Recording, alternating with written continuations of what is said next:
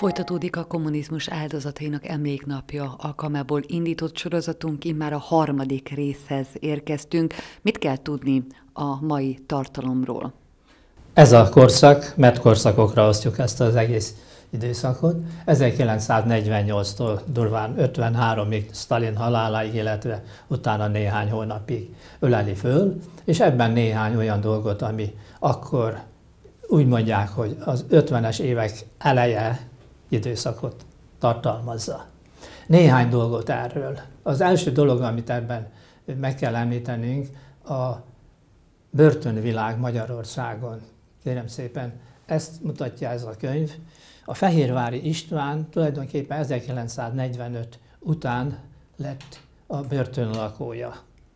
Nagyon nehéz sorsokat ír le, hogy mik történtek ebben az időszakban. Ezt most én nem kívánom mind elmondani, mert nagyon sok lenne, és nagyon hosszadalmas. Azért néhány adatot, hogy ebben kik működtek közre, akikről majd később szót is fogunk ejteni. Mégpedig az, hogy a, a, a börtön előtt még milyen, milyen területeken, milyen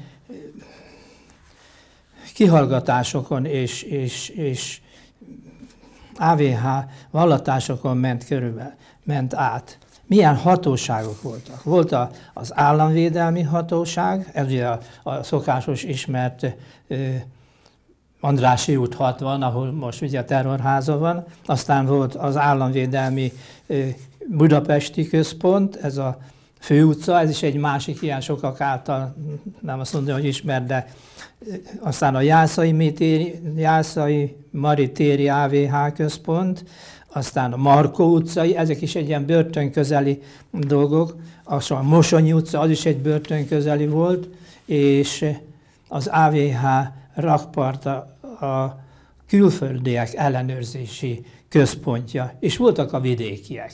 Tehát ezek előzték meg azt a, azt a szörnyű dolgot, ami aztán a, a börtönben folytatódott. Hát most a börtönöket nincs értelme felsorolni, illetve tudhatnánk, de ugye nagyon jól tudják, hogy Váci, meg a, a budapesti börtönök, meg a szegedi börtön. Tehát a Fehérvári István ezt a világot ő, írta le, később aztán írt egy másikat is, de az most nem erre a korszakra vonatkozik.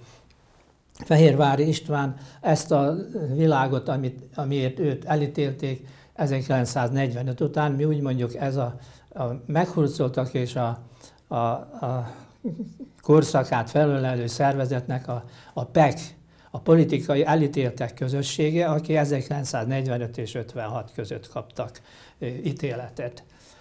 Ezeknek a sírjai Budapesten a új köztemetőben megtalálható, a 298-as parcellában, mert ugye a 301-es parcellában az 56-os kivégzettek.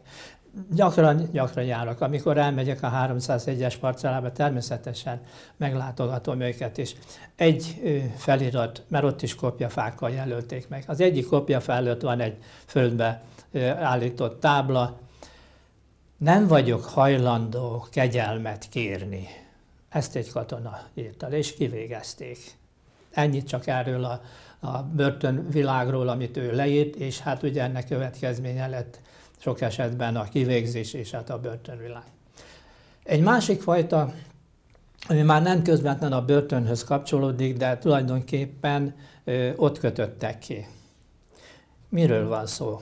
Ugye 1945 után, de inkább már 48-ban felosztották a földbirtokokat, elvették az egyházaktól, a földbirtokosoktól, és a szétoztak. Tehát a 100 kataszteri holdföldeket ezt mindenképpen felosztották, illetve elvették tőlük, de maradtak, akik 25 kataszteri holdon gazdálkodtak.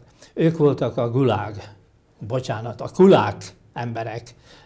Ez egyfajta megnevezés volt, nem tudom, hogy milyen eredetű szó, nem magyar, magyarra lefordították, az annyit jelentett, hogy zsíros paraszt, tehát egy nagyon gazdag, jó kinézésű, mindig is ilyen kövér embereknek mm, rajzolták meg őket, ők voltak a kulákok.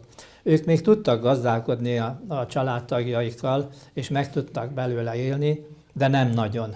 Mert ugye jött a kötelező mezőgazdasági termék és termékek, termények és termékek beszolgáltatása, őket nagyon, nagyon sújtotta ez, úgyhogy nagyon nehezen tudtak ebből megélni. Egy példa, hogy ugye nem csak az ilyen gazdasági megszorítás volt, hanem ebből adódóan sokféle bántalom érte őket, mégpedig felsoroltak egy párat, hogy a kulákokat miféle bántalom érheti. Itt egy néhányat felsorolok belőle, azt mondja, hogy a, a kulákokkal szembeni tett intézkedéseknek a hatása, például szabálytalan cséplés, tehát a gabonáját mondjuk ő akarta csak elvégezni, akkor tíz évi fegyháztól egészen egy évi fegyházi különféle fokozatokba. Egy másik, hogy a kézi cséplés, tehát a gabona megtartása önmaga részéről, arra is három évet szabtak ki. Indok nélküli gép leállítás, tehát a gép az a cséplőgépről van szó, tehát hogy annak a leállítását, hogy, hogy ne végezzék tovább, majd ő elvégzi. Ennek is egy bizonyos gabona rejtegetés. Nem folytatom tovább. Tehát egyfajta ilyen rendelkezés volt, amit a kiadtak a, a belügyminisztérium 3 per 1 per 2-es szigorúan bizalmas és, és, és titkos jelentése, aminek alapján aztán börtönbüntetéseket szabtak ki a kulákokra. Egy példa ebből a Kuláklista című könyvből, Kávás Klára írta, azt mondja, hogy 15 év börtönbüntetés és vagyon elkobzás egy bácsinak, itt van szegénykém. Kik kerültek a kulák listára, akkor ez a vagyonosabb réteg? A, igen, a vagyonosabb réteg, hát úgy vagyonosabb, hogy nem egy-két hold, mert úgy kisebb család öt kateszteri holdon meg tudott lenni, de ő, ők, akik már 25 kateszteri holddal rendelkeztek, őket a nagyobb gazdáknak nevezték, és teljes mértékben sújtották, ugyannyira, hogy alig tudott a családja meg. Ugye a, a gabona cséplése, miután behozták a, a kévéket a szérűbe, vagy akárhova a cséplése, már a cséplés ideje alatt voltak úgynevezett ellenőrök, ami azt jelentette, hogy a, a kifolyt gabonát azonnal ott lemérték, kiszámolták, hogy a gazdának a családja létszámához képest mennyi búzát tarthat meg, és a több már is elvitték. Ez volt a kötelező beszolgáltatás. És akkor ki voltak írva olyan lózungok, hogy minden zsákbúza csapása az imperialistákra. Tehát más lózungok is voltak, de ehhez kapcsolódóan ilyen kifejezések voltak. Tehát ugye a legnagyobb értékű termény a gabona volt, a kenyérgabona. Hát aztán volt más takarmánygabona, ami az állatainak a felhasználására, vagy az állatainak az eltartására volt szükség, de Szóval ugye itt előbb felsoroltam, hogy fegyház, tehát az egy nagyon nehéz dolog, nem csak azt mondja, hogy börtön, mert a börtönben ugye lehet dolgozni, lehet sétálni, de a fegyházban nem lehet. Az egy nagyon szigorított. És akkor ő 15 évet kapott. Hát nagyon elszomorító, és ebből nagyon, nagyon sok ö, nagy gazda, mert úgy kell, hogy mondjak, ők már nagy gazdák voltak. A nagy, ennél nagyobb kateszeri holdádál is vették tőle. És Hát így éldegéltek lassacskán a, a kulákok. Hozzá tartozott nem csak az ő részükre, hanem a, a falun élők részére is, akinek volt valamennyi földje, egy úgynevezett beadási könyv. Ez a beadási könyv azt tartalmazta, hogy abba fel volt tüntetve, hogy a család hány létszámú.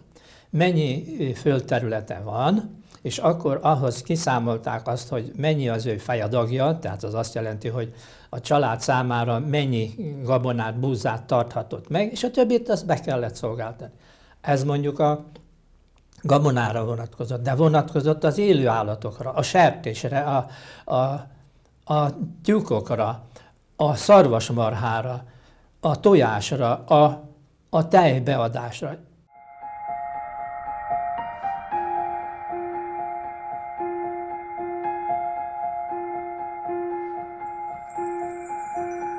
Ez a beadási könyv volt az a kötelezően nyilvántartott dokumentum, aminek alapján a földterülettel rendelkező családnak kötelessége volt beszolgáltatni mindent, és maradt neki, ami maradt.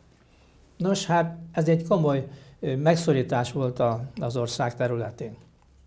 Sajnos nem múlt el bajok nélkül, mert itt is történtek nagyon nehéz dolgok. Egy példát mondanék a polgárdi mártírja esetét. Ő az édesanyjával, Császár István, 29 éves, az édesanyjával lakott egy tanyán, és gazdálkodott. És egy délután hírt adtak neki, hogy másnap nem menjen ki a mezőre, mert ő neki hivatalos emberekkel lesz dolga, és hát várja meg délelőtt. Hát tényleg meg is várta, ugye ahhoz illően, hogy nem a határban megy dolgozni, sötét nadrág, fehér ing, és akkor megjelentek nála rendőrök, meg AVH, hogy maga nem teljesítette a kötelező beszolgáltatási kötelezettségét, tehát nem adta le mindent. És akkor elővette a Császár István a beadási könyvet, mert ugye abban, ha az ember leadta a dolgokat, azt mindig beírták, hogy mennyit, mikor, és ez be volt osztva, hogy nem egyszerre le az egészet, hanem negyedévenként havonta. Tehát, hogy folyamatos legyen a, a beszolgáltatás. Hát a Császár István elővette, és akkor mutatta, hogy itt van a családlétszám, itt van a földterület, itt van a gabonából, a húsféléből, a tájféléből, mindenféléből a beadás, és ezek itt teljesítve vannak a mai napig. A következő időszak majd az egy következő időszaknak a kivetése lesz. Hát ugye nem tudtak mit szólni a, a rendőrök, és, és hát elvonultak, de nem dolga végezetlenül, hanem másnap visszamentek, akkor már jöttek az AVH-sok teherautóval, AVH-s keretlegényekkel, és hát akkor most házkutatást tartott, mert maga még eldugta, elrejtegette azt, ami megmaradt, és ez hát megcsonkítja az országot, tehát ez szabotás.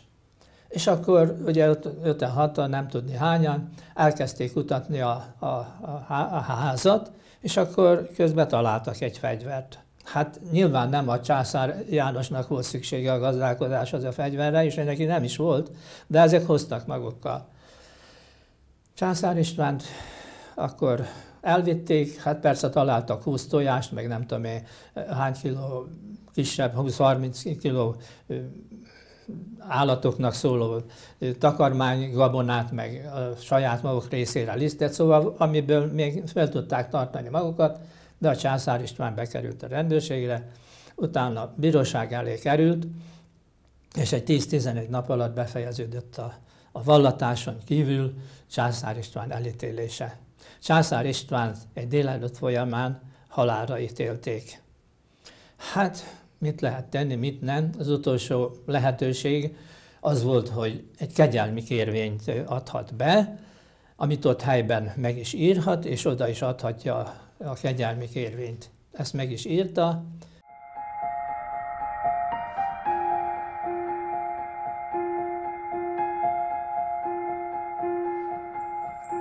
az államvédelmi hatóság ugye hatóság volt rettenetesen féltek tőle, megfélemlítették a, a lakosságot. Ugye itt van az előbb említett példa. Tulajdonképpen, hogyha egy környezetbe a párt emberei, ugye Magyar Dolgozók pártja volt akkor, párt emberei valamit elhatároztak, hogy ott valamit kell tenni, akkor szóltak az AVH-nak, és az lerendezte. Hát így történt ez a Császár István esetében is, mert mint később kitudódott, a hogy szokták mondani, a tömb megbízott, tehát a párt megbízottja ott összeültek, és azon tanácskoztak, hogy ki legyen az áldozat, akit erre majd bevisznek. Hát a császár István találták ki, mert ő neki nem volt gyermeke, nem volt felesége, csak az édesanyjával lakott, és nem akarták olyat, hogy, hogy valaki családfő kerüljön ebbe bele. Tehát hogy úgy mondjam, felkészülten csinálták ezt a dolgot, és bármi más olyan dolgot kitaláltak a kommunisták, amit ők úgy gondolták, hogy ezt meg kell torolni, akkor csak szóltak az AVH-nak, és az végre is hajtotta. Az már részletkérdés, hogy hogyan és mind, ott már nem szóltak bele, csak eresztették a dolgot, hadd menjen. Ez egy szörnyű időszak volt, és hát mint tudjuk, az 1956-os forradalom és szabadságharc sokféle követelménye volt, benne volt például a kötelező mezőgazdasági termék és termékbeszolgáltatás megszüntetése és az AVH feloszlatása. Ez mind teljesült is. Megszűnt a beszolgáltatás, az AVH viszont nem. Mint neve, mint szervezet az megszűnt, de szépen beépültek a rendőrségbe, és ők lettek a nyomozóink. Na bum. Akkor nehéz volt ezt elviselni, mert ők kegyetlenebbek voltak, annál is inkább, mert őket megszüntették. És most kiélhették magukat a rendőrségen belül, mint volt AVH-sok, rajtunk azt a vallatási, azt a kényszer dolgot, amit el kellett, hogy viseljünk. AVH. Még egy szervezet ezen belül, mert itt látjuk, hogy a képen ez egy kék színű sapka jel, de volt zöld AVH is. A kék színű az a belső karhatalom, tehát az ország belsejében lévő dolgokat torolta meg, mint a párt hadserege és párt ökle, a zöld színű, az pedig a zöldávósok, azok pedig a határvédelmet látták el. Tehát ott voltak ők olyan dolgokkal felsorol, felfegyverkezve, hogy a határ megközelítése is már bűncselekménynek számított. És akkor azt kísérték, és ott felszólítás nélküli lövés volt. Tehát azon kívül, hogy volt fizikai határzár, ez a határ, Magyarország határa körbe volt véve zöldávósokkal is. Na most csak egy mondat erejéig, ezek a zöldávósok az 56-os forradalom és szabadságharc idején már egy része be volt rendelve Budapestre segíteni az ottani AVH-nak. Államvédelmi hatóság. Amikor ezt hallja az ember, nagyon-nagyon megborzunk, hogy mégis mik és hogyan történtek.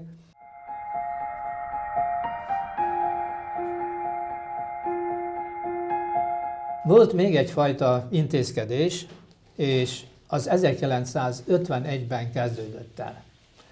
Könyvet írtak róla, úgyhogy kitaszítottaknak nevezték. Ez tulajdonképpen a kitelepítés volt, ami azt jelentette, hogy egy kiszemelt család, az lehetett egy birtokos, lehetett egy, egy gyáros, lehetett egy, egy katonatiszt, aki a horti hadseregben katonatiszt volt, vagy lehet bárkit, akit úgy ítéltek meg, hogy a nép ellensége. És akkor kapott egy értesítést, pontosabban határozatot, amiben felsorolják, hogy őt, feleségét és felsorolt gyerekeket egyből 24 órán belül hagyja el a lakását. És meg volt írva a cím, mondok egy példát, a budapestiek részét, nagy részét Mikófalvára küldték ki, utca házszám megnevezve, és ott foglalja el. 24 órán belül hagyja el a lakást. Ki kellett települni. Ez egy kényszer kitelepítés volt, és határozatlan időre. Mit vehetett magukkal? Azt se tudták, hogy, hogy ova, ott hová kerülnek. És mint kiderült, ezek a, a kitelepítettek nagy része kulákok családjához lett betelepítve. Ahol egy-egy családnál 6-8, talán, há, talán 7 családot is besűrítettek. Úgyhogy szinte nem tudtak hol helyet foglalni, nem tudtak hol, hol lefeküdni. Istálókba húzódtak meg az állatok környezetébe, és dolgoztatták őket. Mások részén, ugye Mikófalva az a Bükk környezetében van valahol, azon a környéken volt több ilyen tábor, de a legnagyobb az a Hortobágyi tanyákra összpontosult. Oda nem csak budapestieket vittek, hanem más, más területekről is. Ott különféle majorok voltak megnevezve, ugye hát a Hortobágyon nagyon gazdálkodni nem tudtak, mert az a talaj és az a hőmérsékleti, meg szárazság az nem volt valami nagyon kedvező, de azért voltak tanyák, ahol meg tudtak nagyjából telepedni, és ott munkát tudtak elvégezni. Tehát eljutottak oda is, hogy, hogy elvigyék őket Hortobágyra. Egy másik ilyen ilyen terület, hát sok felé volt az országban, egyet mondani, Csanádapáca. Az, az Békés megye részén volt, oda is vittek. Egyik bajtársunk a családjával, a szüleivel együtt volt oda el szállítva, vagy ő neki kellett eljutni, ez már részletkérdés, de 24 órán belül ki kellett vonulniuk azzal a kevés ruházattal, azzal a kevés élelem, amit úgy fizikailag tudtuk maguk, tudtak magukkal vinni, csanádapácára kerültek. És egy kicsit most a befejezésre összpontosítsak, ez 1953-ig Szálin haláláig tartott, és akkor ők onnan megszabadultak, visszamehettek volna a lakásukba, de az már nem volt, mert amikor őket onnan kitelepítették, mindjárt beköltöztek a kommunisták. És akkor ez 53 nyarán, tavaszán nyarán, tehát Stalin halál után történt, és november, október-novemberben meg elvitték munkaszolgálatos katonának. Tehát két évet volt kitelepítve, és másik két év aztán munkaszolgálatos. Tehát egyik bántalomból a másik bántalomba került. Egy kicsit előrevetítettem ezt a dolgot. Kérem szépen, a beköltöztetett ávós tiszt vagy leszármazottai még ma is laknak, ezt nem régen írták, tehát még ma se kapták vissza azok, akik telepítettek. Pesti bajtársaim is mondják, hogy gyerekek, hát itt laktunk, de hát most még mindig lakik benne valaki.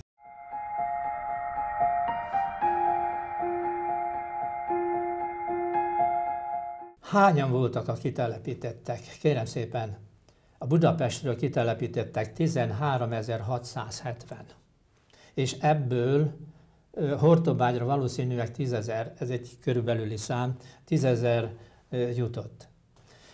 A Mikófalvára 51-53 között itt volt egy ilyen térkép, ahol hát valószínűleg gazdák lakhattak többen, ezekbe az utcákba helyezték el őket. Ez egy olyan tábor volt, úgy mondják, hogy nem zárt tábor. De a rendőrök állandóan figyelték őket, tehát nem hagyhatták el a környezetüket, hanem még iskolába se járhattak a gyerekeik. Kicsik voltak. Volt olyan, akik egy éves volt, aki tíz éves, vagy szóval általános iskolába mm, járó időszak, vagy korban, korban éltek. Két-három családot, hat-hét embert is ültettek a kuláknak a nyakára. Na most arra gondoltak ezek a kommunisták, hogy majd azokat összevesznek már, hogy miért jöttetek ide, vagy mit kell. Nem kérem szépen, a kulák ugyanúgy meg volt félemlítve, a, ugyanúgy, a kulák ugyanúgy vesztesei voltak és elszenvedői voltak ennek a kommunista diktatúrának, mint ahogy a kitelepítettek.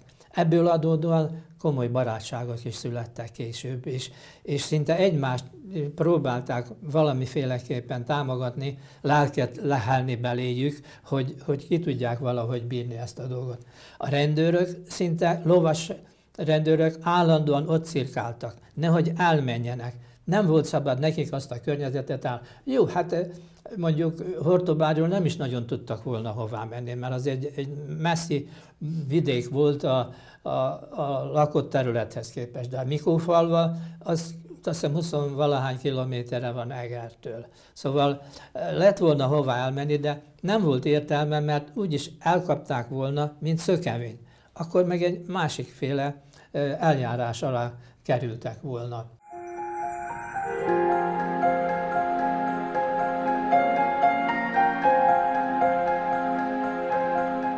Tulajdonképpen ők, ők is hogy úgy mondom, megszabadultak ettől a, ettől a korszaktól. Ugye mégiscsak hosszú időszak volt, és akkor, amikor erre már sor került, az 53. július 27-én egy ilyen határozat, amikor azt mondja, hogy, hogy ő és a felesége, itt nem nezem, a kényszer lakhely megszünteti 1953. július 27, ugye a Stalin az áprilisról halt meg, az megszüntették, és akkor kellett volna visszajutni a, a családjuk, a családi házba. Ez nem történt meg. Ez az előbb említett bajtársam, aki még most is nehezen tud visszaemlékezni erre, ő budapesti volt, és családapácáról próbált visszajutni Hát a, a környéken annyira ismeretlen kommunistákkal találkozott, hogy meg sem merte közelíteni a házát. És akkor megkereste a rokonságát Budapesten, hogy hát valahova fogadjatok be, mert, mert semmink sincsen, nem csak, hogy azt veszítettük, amiben laktunk, meg minden ehhez tartozó berendezés, hanem a lakásunk, hát hontalanná lettünk. És akkor persze természetesen a, a, a rokonság ezt nagyon akceptálta, és ha, ha nem is biztos, hogy egy családot be tudott fogadni, de akkor egy másik rokonnál megosztva mégiscsak találtak helyet, és akkor apránként próbáltak beilleszkedni valahová, hát aztán így került ő Székesfehérvárra, ahol volt egy másik rokon, akinek már egy nagyobb környezete volt, és ott tudott aztán újból életre kelni a család. Ez a korszak egy, egy előzetes volt ahhoz, ugye 1948-tól 53-ig beszélünk erről, egy előzménye volt ahhoz, hogy, hogy aztán ugye 1956-ban forradalom és szabadság törjön ki. Persze majd egy következő részen más dolgokat is fogunk ezzel kapcsolatosan bemutatni.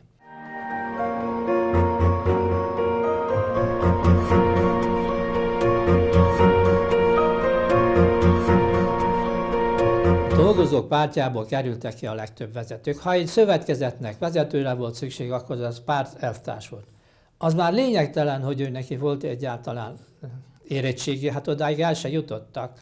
Hát gyárakat, meg akármiket bíztak rájuk, és csak erő volt, csak, csak akarom, csak, csak az, amit a párt akar, és nem értettek hozzá. Tulajdonképpen, ami termelés történt, az a párton kívüliek a munkája volt. Tehát ők irányították, ők hajtatták végre a, dolgoz, a dolgokat, ugye említettem itt a beszolgáltatást, meg kitelepítést, meg aztán majd később szól lesz más is. Ez volt a céljuk. Ez volt egy időszak 1948-tól 53